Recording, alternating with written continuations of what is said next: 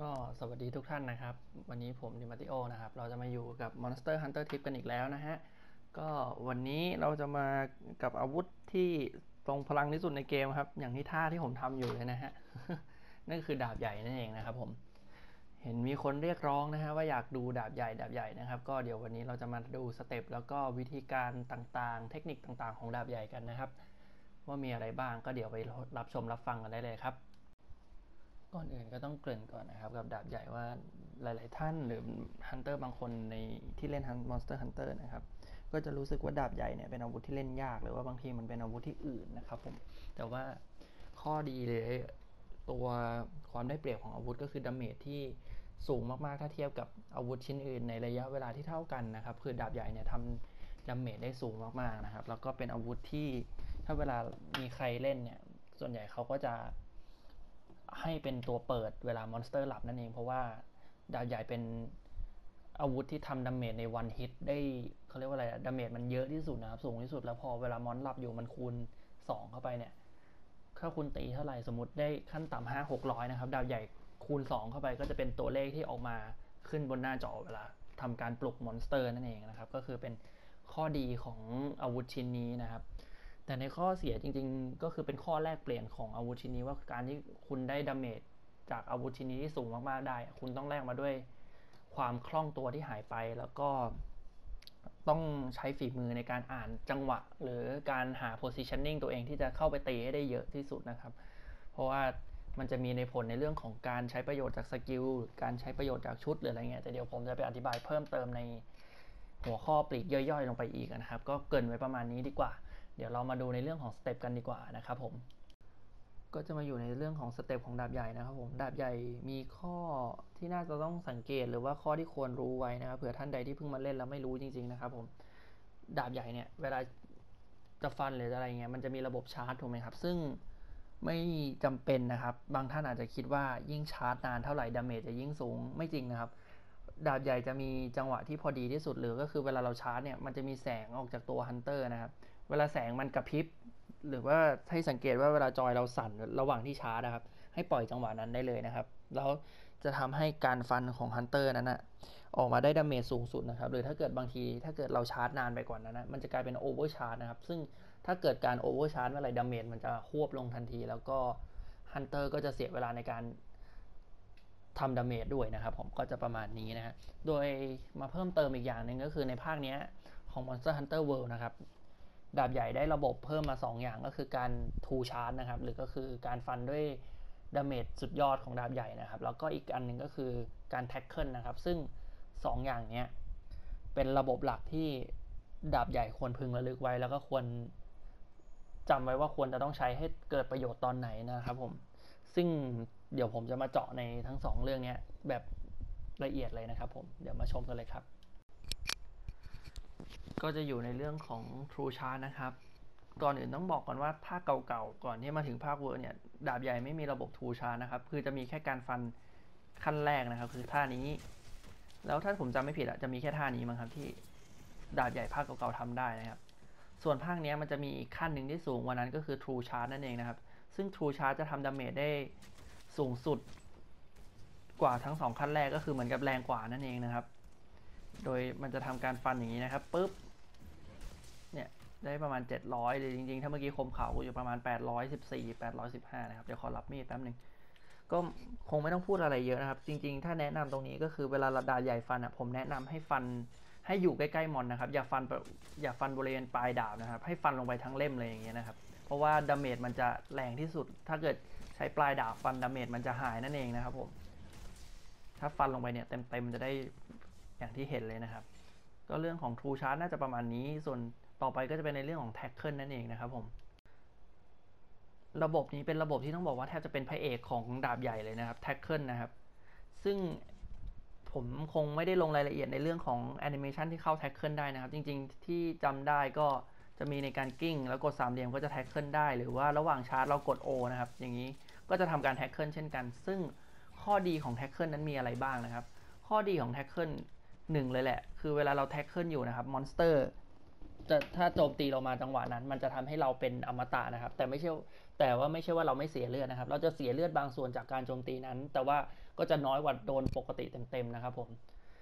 ข้อดีมันก็คือการที่เวลาบางทีเราชาร์จอยู่แล้วเราเห็นว่า monster มันเปลี่ยนจังหวะแล้ว หรือว่าบางทีมันเปลี่ยนตำแหน่งออกไปแล้วนะครับ แล้วจะทำการโจมตีเรา ถ้าเรากดการ tackle เข้าไปเนี่ย มันจะทำให้ตัวเรานั้นไม่เสียจังหวะ หรือไม่โดนตีฟรีนั่นเองนะครับ ซึ่งจะทำให้ดาบใหญ่เนี่ยสามารถเอาตัวรอดจากการล่าหรือบางที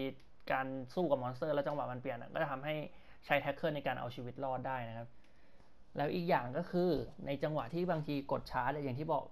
ทุกท่านรู้กันนะครับ เมื่อกี้ที่ว่าเวลาเราจะ true charge นี่คือเราต้องผ่าน 2 ขั้นแรกไปก่อนใช่ไหมครับ การกด tackle ระหว่างที่ชาร์จอยู่นะอย่างเงี้ยครับปุ๊บมันจะทำให้เราสามารถ cancel ท่าชาร์จ1ท่าแล้วไปเลเวลต่อไปได้เลย ซึ่งทำให้ลดระยะเวลาในการชาร์จลงนะครับ ซึ่งท่านี้ผมบอกว่าควรบอกไว้เลยว่าควรจะรู้ไว้ เพราะมันเป็นประโยชน์มากๆนะครับ เพราะว่าดาบใหญ่บางทีมอนล้มหรืออะไรก็จริงแต่อย่างที่บอกรู้กันว่าเราเป็นอาวุธที่ ใช้เวลาในการโจมตีค่อนข้างนานเพราะเราช้านะครับ บางทีเราต้องใช้ tackle ในการ cancelแอนิเมชันของการชาร์จเพื่อเข้า True Charge ให้เร็วที่สุดนะครับสำหรับท่านใดที่อยากเล่นสาย True Charge นั่นเองนะฮะซึ่งผมแนะนำว่าถ้าเกิดจะ tackle อะ cancel animation ให้ tackle cancel ในจังหวะเลเวล2ครับ เพราะว่าเลเวล2เนี่ยมีแอนิเมชันท่าที่นานมากนะครับ แล้วยังไงจุดประสงค์หลักที่เราจะฟันอะคือเราจะใช้ True Charge อยู่แล้ว ฉะนั้นพอฟันครั้งแรกปุ๊บไม่ต้องกดชาร์จเลยนะ ฟันลงไปปึ้ง แล้วก็กด tackle เลยอย่างเงี้ยฮะ มันจะทำให้เราเข้า True Charge ได้เร็วขึ้น แล้วก็จังหวะมันจะสอดคล้องแล้วทำให้เราเล่นได้ปลอดภัยมากขึ้นนะครับผมก็น่าจะประมาณนี้ของ tackle นะครับ ส่วนแอนิเมชันที่เข้า tackle ได้เนี่ยมันมีหลาย ๆ จังหวะ แต่อาจจะต้องขอให้ hunter แต่ละท่านไปลองดูเองนะครับ เพราะว่าคิดว่าที่เรื่องที่จะพูดต่อไปเนี่ยเนื้อหาก็ค่อนข้างเยอะ แล้วก็เลยกลัวว่าเดี๋ยวจะรวมเนื้อหาไม่ทันนะครับ ต่อมานะครับผมจะสอนวิธีการปลุก monster นะครับ คือการใช้ True Charge ให้ลงไปพอดีที่สุด คือต้องบอกก่อนว่าเวลาเราฟันอะยิ่งไอ้ท่าไหนแรงๆเนี่ย มันจะถ้ามันมี2ฮิตขึ้นไปเนี่ย ถ้าเราฟันฮิตที่แรงสุดไม่โดนอะมันจะไม่มีประโยชน์เลยถูกไหมครับในการปลุกซึ่งดาบใหญ่เป็นเหมือนกันเลยนะครับ ดาบใหญ่เวลา True Charge อย่างที่เมื่อกี้เห็นนะครับ มันจะฟัน เขาเรียกว่าอะไรอะมันจะฟัน 2 ทีครับ มันจะมีมุมหนึ่งที่ฟันลงไปก่อนเนี่ยท่าเบา slash เบาก่อนหนึ่งครั้งแล้วไอ้ True Charge จริง ๆ มันจะมาอยู่ในฮิตที่ 2 นั่นเองนะครับ ซึ่งเวลาเราฟันอะเราอยากให้มันโดนฮิตที่ 2 เพราะถ้าโดนฮิตแรกปุ๊บ damage คูณ 2 ไปแต่ฮิตมันเบา มันไม่มีประโยชน์นั่นเองนะครับ ผมจะสาธิตว่าอันนี้คือ monster นะครับ จากที่ผมไปดูมาเขาเวลาเขาสอนเนี่ยคือเขาบอกให้เดินชนเลยนะให้เดินติดอย่างเงี้ยแล้วให้ทำการกดกาดนะครับผมของดาบใหญ่ก็คือการกด R2 เป็นการวัดระยะอย่างนี้นะครับ พอกดเสร็จปุ๊บให้กลิ้งออกมาทีนึงนะครับ แล้วหันหน้าตรงๆนะครับ ไม่ต้องกดอะไรแล้ว แล้วกดฟันลงไปได้เลยครับ เข้า True Charge ได้เลย ซึ่งเขาบอกว่ามันจะโดนแน่นอนร้อยเปอร์เซ็นต์นะครับ แต่บางทีอะอันนี้โดนถูกไหมครับ ถ้าเทียบกับอันนี้คือ monster อันนี้คือโดนแน่นอน แต่สิ่งที่จะต่างไปก็คือบางทีที่มันไม่โดนนะครับ คือ พื้นที่หรือทำเลต่างๆ ที่ monster มันไปนอนอยู่นะครับ บางที monster ไปนอนข้างๆ ดงคริสตัลนะครับอย่างเช่นไอ้ Rathalos ฟ้าเนี่ยบางทีมันไปนอนตรงนั้น บางทีการที่เราสับลงไปเสร็จปุ๊บ ก่อนที่จะโดน True Charge เนี่ยมันไปสับโดนดงคริสตัลแล้วคริสตัลมันกระเด็นไปโดน แล้ว monster ตื่นอันนี้ก็คือมันจะใช้ไม่ได้กับพวกอย่างนี้บางทีเราต้องไปกะระยะเองหน้างงานอีกทีนะครับหรือบางทีเทโอหรือตัวบางตัวที่ไป map ทะเลทรายแล้วมันนอนบนเนินนะครับเวลาเรากลิ้งไปหรืออะไรเงี้ยบางทีระยะมันจะไม่เท่าเดิม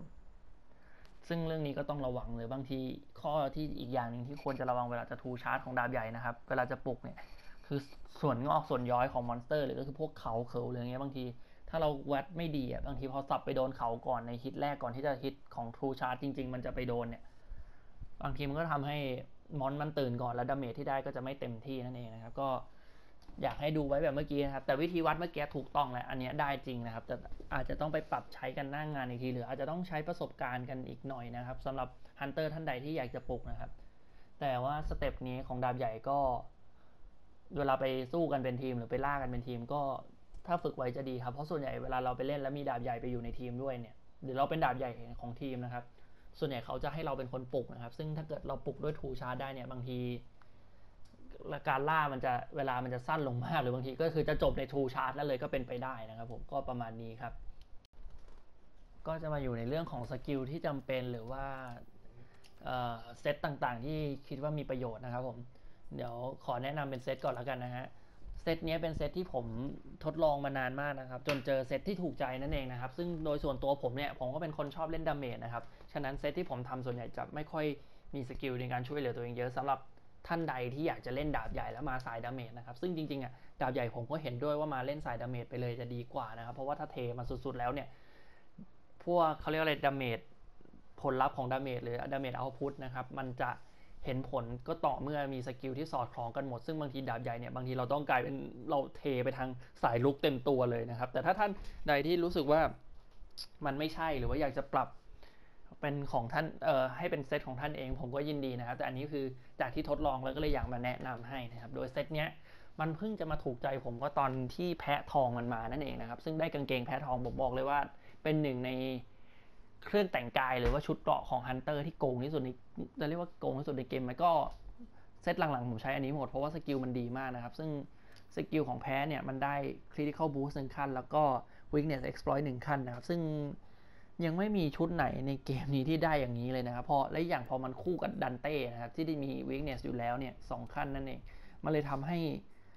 เราไม่ต้องใส่เพชร weakness เลยนะครับ แล้วก็ได้ประโยชน์จาก critical ด้วย critical boost ด้วยนั่นเองนะครับ กลายเป็นว่าคือskill ในชุดก็ได้ใช้ แล้วก็มีช่องให้ด้วยก็คือคุ้มมากนะครับ เซตเนี้ยดีมากนะครับแล้ว damage ที่ทำได้ก็สูงมากเช่นกันนะครับ True Charge ที่ทำได้อย่างที่เมื่อกี้ฟันเสาที่เห็นเห็นกันอยู่ก็จะประมาณ800 แล้วก็เคยสับในกิกันเต้ด้วยประมาณ 800 กว่ากว่าเช่นกันนะครับ แต่อันนั้นรวม buff รวมอะไรหมดแล้วนะครับผม ก็ถือว่าเป็นเซตที่น่าภาคภูมิใจมากทีเดียวนะฮะ เดี๋ยวทีเนี้ยเราจะมาอยู่ในเรื่องของ skill กันละ skill ที่ผมแนะนำก่อนเลยนะครับสำหรับท่านใดที่ไม่มีเม็ดเอ่อเพชร attack นะครับ ผมไม่ผมบอกไว้เลยว่าอันนี้ผมไม่ได้การันตีหรือว่าไม่ได้ซีเรียสเลยนะครับ ว่ามันจะต้อง attack มาก่อนตลอดนะครับ คืออยากจะให้โฟกัสเรื่องคริก่อนนะครับ เพราะจริงๆ แล้ว damage ของดาบใหญ่ที่มา มันไม่ได้มาจาก Attack Boost นะครับ แต่มันมาจาก skill critical นั่นเองนะฮะ ซึ่งถ้าคุณมี Critical Boost level 3ในชุดเนี่ย มันจะทำให้ตัวของ hunter ที่เล่นดาบใหญ่เนี่ย ได้ damage จากการตีแล้วติดคริอีก 40%ซึ่งนั่นแรงกว่าการใส่ Attack Boost เป็นไหนๆ แน่นอนนะครับ อันนี้ผมแนะนำเลยว่าควรจะโฟกัสในเรื่องของคริก่อนนะครับ หรือก็คือ Critical Eye นะครับ ควรยัดให้ควรทำให้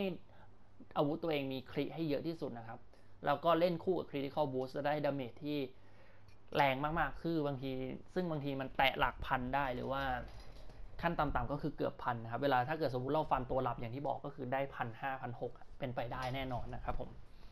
skill ที่ 2 ที่แนะนำเลยนะครับ ก็คือโฟกัสนะครับ โฟกัส ถ้าเกิดสำหรับท่านใดที่เล่นสาย True Charge นะครับ ก็คือควรมีไว้นะครับ เพราะว่ามันจะลดในอัตราการชาร์จลง ก็คือเวลาเราชาร์จฟันนะครับ มันจะลดลง 15%นะครับ ควรใส่ให้ครบเลเวล3เพราะว่าถ้าเกิดใส่ในเลเวล2หรือเลเวล1เนี่ยมันจะเห็นผลค่อนข้างน้อยหรือไม่ค่อยชัดเจนนะครับ แล้วก็อีกอย่างคือการที่เราใส่ไว้เวลสามหรืออะไรเงี้ยคือเต็ม max แล้วอะมันทำให้บางทีเวลาเราเล่นมันจะง่ายขึ้นนะครับ เพราะว่าดาบใหญ่ที่ถ้าไม่ใส่โฟกัสเลยอะโอเค ผมเห็นด้วยว่าคุณจะได้ damage ที่ยิ่งกว่าเดิมนะยิ่งกว่าที่ผมเล่นแต่ว่าคุณต้องเซียนมากๆนะครับ เพราะจังหวะในการชาร์จ หรือแอนิเมชันในการชาร์จมันช้ามากนะครับ ซึ่งถ้าเราใส่โฟกัสไว้อะ จังหวะที่บางทีเราดึงดาบกลับมาชาร์จขั้นตัดถัดไปหรืออะไรเงี้ยมันจะลดเวลาพวกนั้นลงด้วยนะครับ ซึ่งทำให้hunter เล่นง่ายขึ้นนั่นเองนะครับผมแล้วก็ได้จังหวะที่มากขึ้นนะครับ skill ที่ 3 ครับ weakness exploit นะครับ อันนี้สาย damage ควรต้องใส่ทุกคนนะครับ เพราะว่ามันจะทำให้เราได้ critical อัตรา critical ฟรี 50%เลยนะครับ ถ้าเราตีโดนจุดอ่อนนะฮะ ซึ่งบอกไว้ก่อนว่าดาบใหญ่เนี่ย เป็นหนึ่งในอาวุธที่รุนแรงมาก damage มันสูงถูกไหมครับ แต่ว่ามันจะแลกมาข้อแลกเปลี่ยน ตอนนี้ทุกชนิดของดาบใหญ่เลยแหละ ข้อแลกเปลี่ยนที่มันต้องแลกคือ อัตรา critical ที่ติดลบนั่นเองนะครับ ซึ่งคนบิวเนี่ยเวลาส่วนใหญ่เวลาเรามาเล่นเนี่ย แล้วเราเจออาวุธที่คริติคอลติดลบนะครับ สิ่งที่เราต้องทำคือเราต้องทำชุดที่มันงัด critical ให้กลับมาเป็นบวกให้ได้ถูกไหมฮะเพื่อยิ่งกับที่ผมทำเมื่อกี้คือเราจะเล่นคู่กับ critical boost ด้วยเนี่ยเราต้องทำให้คริเอากลับมาได้ให้เยอะที่สุดนะครับ ฉะนั้น weakness exploit เป็นหนึ่งใน skill ที่จำเป็นมากๆสำหรับ hunter นะครับ ที่เล่นดาบใหญ่สาย damage true charge นะครับ เพราะว่าสายคริ draw เขาไม่ต้องกลัว เพราะว่า skill คริ draw มันให้คริร้อยเปอร์เซ็นต์อยู่แล้วนะฮะ เวลาชักครั้งแรกนั่นเอง แล้วก็ skill อีกอย่างที่จำเป็นแต่ว่าไม่แนะนำให้ใส่เยอะนะครับ นั่นคือ maximum might นะฮะ ถามว่าทำไมผมถึงไม่แนะนำให้ใส่เยอะ หรือแม้กระทั่งเซตนี้ผมก็ใส่แค่เม็ดเดียวนะครับ เพราะว่าข้อดีของมันคือการที่เราได้ critical แต่ละ level เนี่ยสิบใช่ไหมครับ แต่ข้อเสียมันคือ ถ้าเราเสีย stamina เมื่อไหร่หรือ stamina เราไม่เต็มหลอดเนี่ยมันจะทำให้เราไม่สามารถได้ critical ตรงนั้นมานั่นเองนะครับ ซึ่งถ้าเราใส่เยอะๆเนี่ยมันจะทำให้เวลาเราเรา true charge ลงไป ซึ่งดาบใหญ่เป็นอาวุธที่ฟันไม่เยอะเราถูกไหมครับ เราต้องเน้นคริเยอะๆ เพราะว่าเราฟันน้อยมากนะครับ ยิ่งถ้าเกิดสมมุติเรา tackle หรือเรากลิ้งหลบอยู่เนี่ยแล้วเราจะทำการ true charge ในจังหวะนั้นๆนะครับ แล้ว critical มันสมมุติเราใส่ level สามเนี่ย critical มันหายทีสามสิบเปอร์เซ็นต์อย่างเงี้ย โอ้โห อันนี้เรื่องใหญ่เลยนะครับคือถ้าเกิดสุดท้ายเราไม่มี critical เนี่ย ใส่ critical boost ไว้ก็แทบจะไม่มีประโยชน์เลยนะครับ เพราะว่า skill มันจะไม่ติดนั่นเอง damage จะตกแน่นอนนะครับ นั่นเลยเป็นเหตุผลที่ทำไมผมใส่แค่เม็ดเดียวนะครับ เพราะว่าสมมติเราหายไปแค่สิบเปอร์เซ็นต์มันก็ยังไม่ได้กระทบกับตัวชุดหรือจังหวะเซตของเราเซตของเรามากมายนะครับ เพราะว่า หนึ่งคือเลเวลหนึ่งที่ผมใส่มาแค่นี้คือเราได้กำไรแล้วเวลาเราฟันแล้วเราไม่กลิ้งหรือสตามิน่ามันเต็มหลอดเราจะได้คีฟรีแน่นอน 10%นะฮะหรือต่อให้เวลาเรากลิ้งเนี่ยเขาเรียกอะไรข้อเสียของมันก็ไม่ต้องไม่ได้เยอะมากมายจนแบบน่าเกลียดหรือแบบเรารับไม่ได้นะครับ คือคลิปโดยรวมมันยังโอเคอยู่ น่าจะประมาณแบบ 80%หรือ 70%อะไรเงี้ยยังดีอยู่ก็คือ มันทำให้เราเล่นง่ายขึ้นนะครับ แล้วก็เขาเรียกว่าอะไร อัตราการการเกิดเกิด critical boost เนี่ยก็ยังมีมากพอที่จะแบบยังชื่นใจได้นะครับ ก็จะประมาณนี้ แล้วก็เม็ดสุดท้ายนะครับที่สายธาตุเออสายไม่มีธาตุเนี่ยควรเล่นเลยก็คือสายของเพชรของ non elemental boost นะครับ อย่างที่ผมบอกนะฮะดาบใหญ่เป็นหนึ่งในอาวุธที่จำนวนการฟันมันน้อย แต่เราจะเน้นที่ดาเมจต่อครั้งแบบแรงแบบหัวแตกเลยถูกไหมครับ นั่นซึ่งก็คือการ เล่นสายไร้ธาตุจะดีกว่าแน่นอนนะครับ ผมเล่นมาแล้วนะฮะสายมีธาตุหรือสายธาตุต่างๆ ของดาบใหญ่นี่ damage สู้ไม่ได้เลยนะครับสำหรับสายไม่มีธาตุนะครับ ก็คือสายไร้ธาตุชนะขาดแต่ถามว่าเหตุผลเบื้องหลังมันมีไหมมันมีนะครับ จริง ๆ สูตรการคำนวณ damage ของอาวุธต่างๆ คือที่ปิดที่อาวุธธาตุนะครับ กับไม่มีธาตุเนี่ยมันคำนวณยังไง อันนี้ผมบอกไว้นะครับ แต่จะไม่ได้มีเป็นสมการขึ้นมา แต่ว่าอันนี้ข้อมูลค่อนข้างแน่ใจเลยนะครับ ค่อนข้างชัวร์ทีเดียว เพราะว่า เขาบอกในในที่ผมไปศึกษามาเขาบอกว่าอาวุธที่มีธาตุหรืออะไรอย่างเงี้ยที่จะเล่นธาตุได้ดีคืออาวุธที่ฟันแล้วรัวๆนะครับเป็นอาวุธที่จำนวนการฟันเยอะๆ หรือก็คือพวกดาบคู่ดาบโล่อะไรเนี่ยครับเพราะว่าทุกครั้งที่เราฟันธาตุออกฟันออกไปนะครับ อาวุธไหนที่มีธาตุแล้วจำนวนการฟันมันเยอะเนี่ยธาตุมันออกทุกๆฮิตในการฟันนะครับ มันจะไม่เหมือนสถานะที่ออกแค่บางฮิต แล้วอีกอย่างคือตัวคูณธาตุมันต่างกันนะฮะถ้าเกิดอาวุธชิ้นไหนให้สังเกตง่ายๆเลยนะครับ อาวุธที่ฟันเยอะๆ ตัวคูณธาตุจะเยอะกว่า damage มันจะแรงกว่านะครับ แต่ถ้าเกิดอาวุธไหนที่ฟันจำนวนครั้งน้อยๆ หรือว่าไม่ได้แบบเยอะมากนะครับ ตัวคูณธาตุมันจะน้อยมากนะครับ แต่ในทางกลับกันนะครับ ตัวคูณ damage ของ raw damage เลยหรือว่าสายไม่มีธาตุเนี่ย มันจะสูงกว่ามากๆนะครับ อย่างเช่นดาบใหญ่เนี่ยที่ เราสามารถใช้ประโยชน์จาก non elemental ได้เต็มที่นะครับ เพราะว่าดาบใหญ่เป็นอาวุธที่ฟันน้อยมาก แต่ว่า damage ในการฟันแต่ละครั้งคือรุนแรงสุดๆนะครับ ก็เลยทำให้ตัวคูณธาตุตัวคูณธาตุจะเบา แต่ตัวคูณ damage จะสูงมากนั่นเองนะครับ นั่นเลยเป็นเหตุผลที่ดาบใหญ่หลายๆคนทำไมถึงเลือกดาบเจ็ตด้วย เพราะมันไม่เป็นเป็นดาบที่ไม่มีธาตุนะครับ แล้วก็มันเป็นดาบที่โกงมากๆในเกมนะครับ ในเรื่องของช่องในเรื่องของคมที่ให้มาหรือว่าเรื่อง critical ติดลบ augment อะไรเงี้ยจิปาถะต่างๆ นี่มันครบครบถ้วนทุกอย่างนะครับ แล้วก็ในเรื่องของ handicraft ก็เช่นกันนะครับ ที่ผมใส่ handicraft ไว้ก็เพราะว่าเรื่องเวลาเราคมเยอะเท่าไหร่นะ สมมติคมขาวเนี่ย ตัวคูณตัวคูณ damage จากคมก็จะแรงกว่าคมฟ้าหรือคมเขียว ผมเลยเลือกที่จะใส่สร้อยไปเลยเพราะบางทีมันเรากันเผื่อไว้ด้วยว่า สมมติเราฟันไปเรื่อยๆเนี่ยแล้วไม่มีจังหวะให้ true charge ครับ การใส่ handicraft ไว้ขั้น 3 ก็จะทำให้ช่วยได้ว่าเราไม่ต้องมานั่งลับมีดบ่อยๆ นั่นเองนะครับแต่จริงๆ ส่วนใหญ่ถ้าเกิดบางคนที่เขาเอาแบบว่าประหยัดเลยนะครับ แบบว่าจะเอาช่อง skill ให้ได้เยอะๆเลยนะครับ ก็คือเขาใส่แค่เลเวล2ก็พอนะครับ ประมาณนี้ ก่อนที่จะลงสนามจริงนะครับ อีกหนึ่งอย่างที่อยากให้ทุกๆท่านรู้ไว้คือการ augment ดูดเลือดนะครับ ท่านท่านใดที่เคยเล่นอาวุธหนักๆจะรู้นะครับ ว่าการ augment ดูดเลือดเนี่ยมัน มีผลมากๆนะครับ อาวุธไหนที่ damage สูงๆ เวลาตีลงไปทีก็จะได้เลือดเยอะนั่นเองนะครับ ดูดเลือด 10%จากการตีของเราในแต่ละฮิตนะครับ ดาบใหญ่เป็นอาวุธที่ฮิตไม่เยอะจริงครับ แต่ว่า damage นั้นสูงมากนะครับ 10%ของมันนี่บางทีเลือดอาจจะแบบเกือบหมดหลอดเหลือประมาณ1ส่วน4ของหลอดเนี้ยฟัน true charge ลงไปทีอาจจะถึงขั้นว่าเต็มหลอดได้เลยนะครับ ก็คือแนะนำมากๆนะครับ ว่าให้ augment ดูดเลือดกับ critical ก่อนนะครับ ถ้าช่องเหลือค่อยไป augment attack อีกทีนะฮะ แต่จริงๆ ส่วนใหญ่อาวุธสายประชิดส่วนใหญ่จะ augment 2 อย่างนี้เป็น basic อยู่แล้วก็คิดว่าไม่น่าจะมีปัญหาอะไรนะฮะ แต่ท่านใดที่ไม่รู้นะครับ ดาบใหญ่นะครับ แนะนำเลยครับ augment ดูดเลือดนี่ชีวิตจะง่ายขึ้นมากๆครับในการล่าบางทีคุณอาจจะไม่ต้องเติมเลือดเลยก็ได้นะครับ เพราะว่าคุณดูดเลือดเอาจาก monster ก็เต็มหลอดอยู่แล้วหรือบางทีเกือบ สู้ๆอยู่เกับตายก็ทุบขึ้นเวทีก็เต็มหลอดได้นั่นเองนะครับก็ประมาณนี้ครับเดี๋ยวเราจะไปลงสนามจริงกันฮะเดี๋ยวไปชมกันเลยครับก็เดี๋ยวจะทำการสาธิตกับมอนคู่ใจตัวเดิมนะครับหรือมอนรองเท้าของผมก็คือเนกิกันเต้นั่นเองนะฮะเดี๋ยวจะยังไงเดี๋ยวเราไปชมกันครับ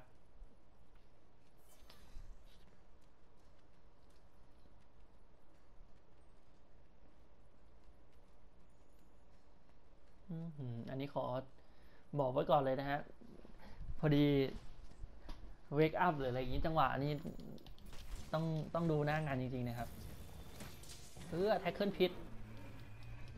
จริงๆ เราสามารถแท็กเกิลกันเสียงได้นะปึ๊บลบสักนิด รอครับแท็กเกิล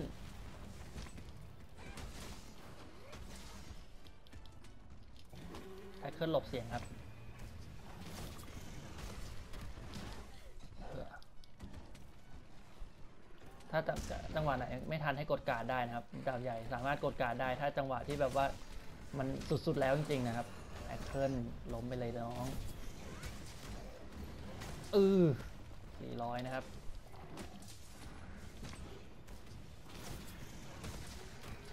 นี่ล้มไปดิโอ้ไม่โดนหัวนะฮะหกร้อย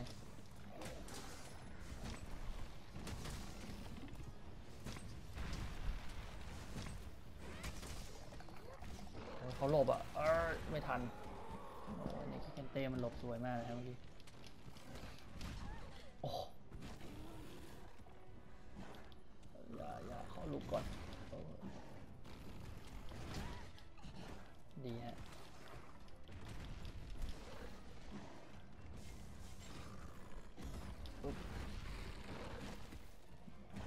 ได้ทีแล้วเอาใหญ่เลยนะ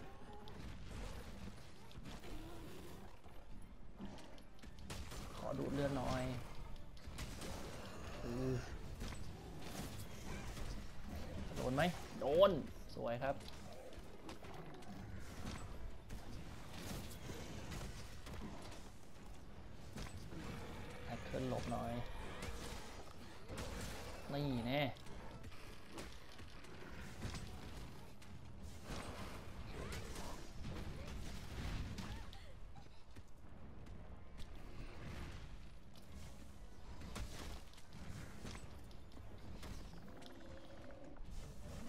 เดี๋ยวเราเข้าไปปลุกกันครับ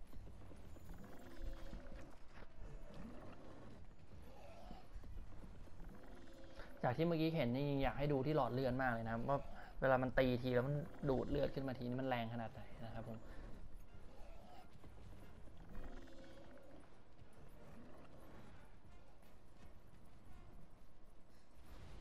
นะถ้าปล่อยมันเฉยๆมันจะงอกขนขึ้นมาปะ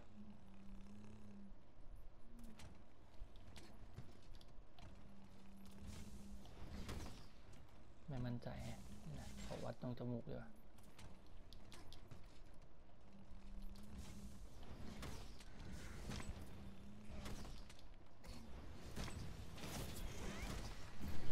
เออ986 นะครับ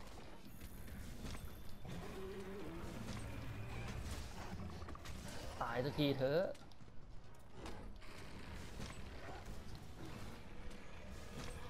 ปล่อยทันไหมเนี่ย ไม่โดนไปนิดนึงโอ้ยโมได้เลยเหรอวะ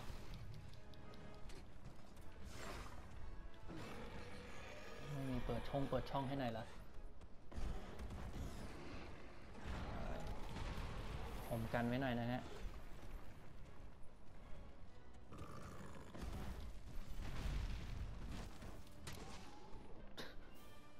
เวน GG เลยครับ ก็ประมาณนี้นะครับ เดี๋ยวไว้คลิปต่อๆไป เดี๋ยวจะทำอาวุธอื่นๆ มานำเสนออีกนะครับ ก็ขอบคุณที่รับชมรับฟังมาตลอดนะครับ ก็เดี๋ยวจะทำคลิปออกมาให้เร็วที่สุดแล้วครับ ฝากกดไลค์กดแชร์กด Subscribe ให้ด้วยนะครับ ขอบคุณมากครับ